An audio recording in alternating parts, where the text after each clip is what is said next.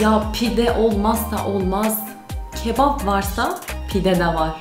İşte geleneksel Türk mutfağının yaratıcılıktaki ve sanattaki inanılmaz etkisi. Birazcık da bunu inceleyelim. Hepinize merhabalar arkadaşlar. Videoma hoş geldiniz. Bu videoda Tuhaf Tırnaklar serisinin devamında acaba tırnaklar ne kadar daha tuhaf olabilir? Gerçekten ilki neden böyle? Tırnakları birleştirmişler. Düşünsenize sürekli böyle yaşamak zorundasınız. Aa çok tuhaf. Bu arada bunu böyle yapmak bence kesinlikle başlı başına bir başarı arkadaşlar. Ay çok kötü ya o an bir şey olsa tuvalete gitmesi gerekse yanındakiyle beraber mi gidecek yani bu mu arkadaşlar?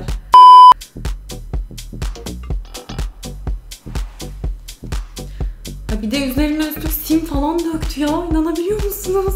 İşte en yakın arkadaşımız da biz de birbirimize böyle bağlanmalıyız arkadaşlar. Yani çok yakın gördüğümüz samimi kişilere aramızda bir tırnak farkı bile olmamalı kesinlikle. Gerçekten bu çok tuhaf bir tırnaktı. Bunu geçiyorum arkadaşlar. Ama değişik bir bakış açısı, değişik yaratıcı bir fikir. Bunda kahveyi görünce derken ayak ayak tırnaklarına kahve yapacak da. Daha fazla ayak görmeyelim arkadaşlar. Ay inanamıyorum bir de kuruttular onları ya. Üf. Ay bir de istiyorsan kahve bardağına sok ayağı parmağını da karıştır istersen yani. Bu ne ya? Sinirim bozuldu. Her şeyi anladım. Ama neden kebap tırnaklar? Neden kebap tırnaklar? Neden mangal var?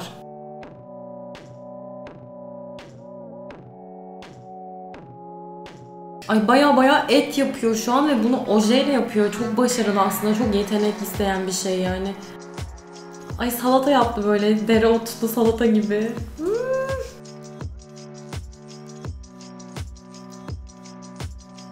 Mangalı yaptı resmen oturttu eline ya. Düşünsenize çok açsınız hemen el, tırnaklarınızın üzerinden mangalı yakıyorsunuz ve etinizi pişirip afiyetle yiyorsunuz. Gerçekten günlük hayatı kolaylaştırıcı bir tırnak modeli diyebiliriz arkadaşlar. Bu artık açlığın bir üst seviyesi bence. Yani ekmek tırnak. Ama çok lezzetli görünüyor. Böyle ısırsan sanki böyle kıtır kıtır olacakmış gibi gözüküyor. Çok masum ama çok kalorili aynı zamanda. Bir dakika bunu yapmak için bu tırnağı gerçekten tereyağı ve un mu kullanacak? Baya baya yapıyor ekmeği. Onu o zaman ekmeği yapıp o şekli verip üzerine öyle mi sürecek?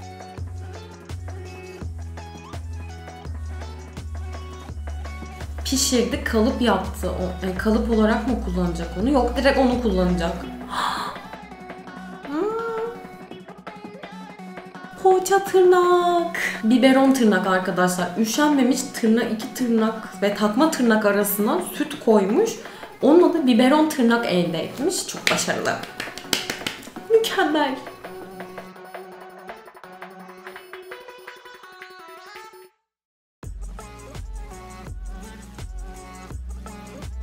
Sütle doldurdu onları. İnanılmaz. Ama çok başarılı yapıyor gerçekten. Ya bu nasıl bir tırnaktır ya? Bu nasıl bir tırnaktır arkadaşlar? Bana şunu açıklayın Allah aşkına ya. Her yere kırmak böyle böyle saçma sapan gezmek mi amaç?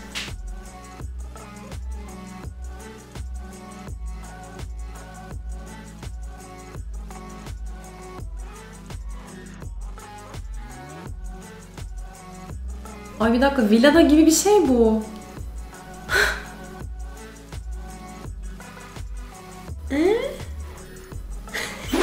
Çok zevk yaptım. bir yudum espri şelalesinden yani bir bardak içtim gerçekten. Öf çok kullanışlı. Ben gerçekten far kullanırken yani far fırçası kullanırken çok zorlanıyorum. Böyle böyle ne güzel yapıyorsun ya elinle. O far fırçasına şekil verene kadar canım çıkıyor benim arkadaşlar. Ya yapıyor yani baya baya ya çok başarılı. Diyecek hiçbir şey yok.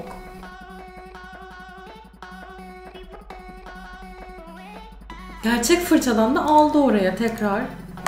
Helal olsun. Bunlar böyle tırnak jeliyle her şey yapabilirler. Biraz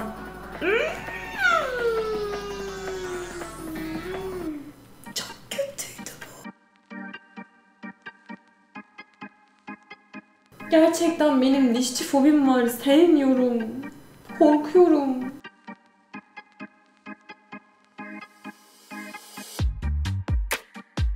Hmm. Güçlü kal Duygu, güçlü kal. Gerçekten güçlü kal. Ay. Arkadaşlar dayanamam. Vallahi siz izleyin ben izlemeyeceğim.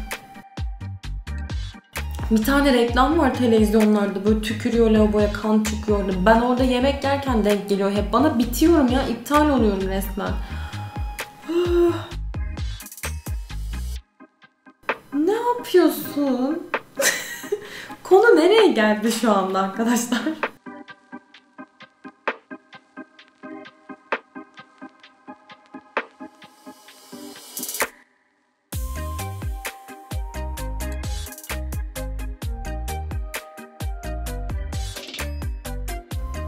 Hayır.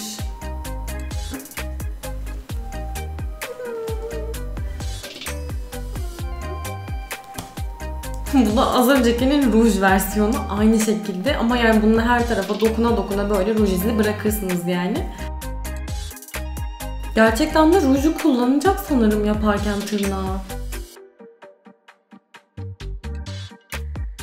Evet kullanacak. Bu çok tatlı. Gezegenleri yapmış ve çok güzel gözüküyor. Böyle alt kısımdaki çok tatlı özellikle öyle bir şey yaptırmak istedim yani. İşte feraset, işte yaratıcılık, işte inovasyon, işte çözüm, işte adam gibi adamlık. Artık tek dokunuşla her yeri aydınlatma devri bitti arkadaşlar. Artık dokunmadan aydınlatıyoruz. Ya bayağı oraya şu an elektrik devresi yaptı aslında. Güzel de yaptı. Güzel bir fikir. Bakar mısınız? Bildiğiniz elektrik devresi yaptı arkadaşlar.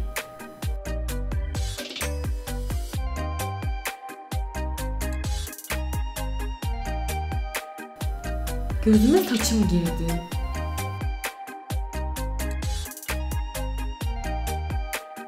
Gerçekten çok iyi. Ha, bir bu eksikti. Bir bu eksikti. Ben çok sinirleniyorum yani. Bay bay. Merhaba. çok leziz. Ya pide olmazsa olmaz.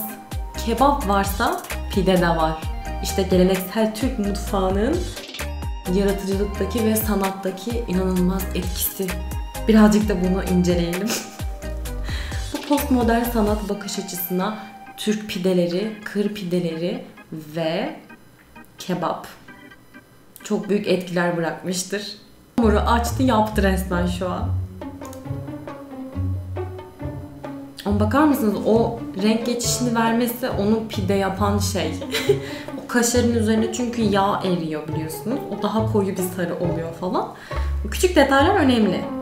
Şeytan detaylarda gizlidir arkadaşlar.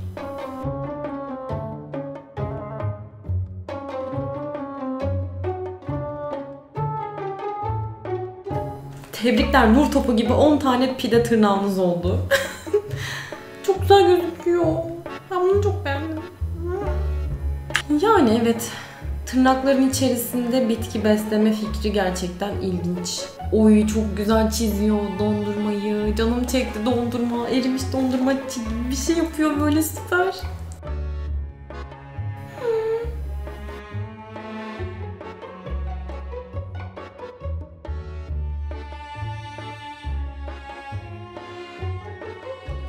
Ay nasıl bir şey çıkacak çok merak ediyorum şu an. Aa çok güzel. Hmm. İşte bir kullanışlı hayat hilesi tadında bir tırnak tasarımı. Gerçekten rende olarak mutfağınızda kullanabileceğiniz. Oraya da rendelersiniz, buraya da rendelersiniz. Şuraya da rendelersiniz, buraya da rendelersiniz. Plaka falan kesmiş ama bunun için gerçek bir şey kullanıyor.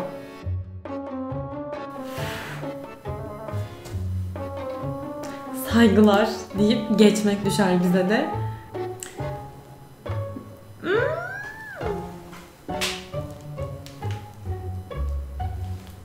Böyle tırnaklar ister misiniz demiş. Böyle bir şey yapmış onu. Arkadaşlar ben bu videoyu burada bitiriyorum. Daha fazla devam etmeyelim bence. Ben çok iğrendim. Bunu beklemiyordum böyle bir şey çıkmasını. Umarım bu videoyu beğenmişsinizdir. Umarım eğlenceli vakit geçirmişsinizdir arkadaşlar. Bir sonraki videolarımda görüşmek üzere. Bu arada oyun kanalım olan DK Gaming'i de takip etmeyi unutmayın. O da burada. Bu kanalda olan eski oyun videolarının devamlarının serileri o kanalımda geliyor. Bir sonraki videolarda görüşmek üzere arkadaşlar. Kendinize çok çok iyi bakın. Hoşçakalın.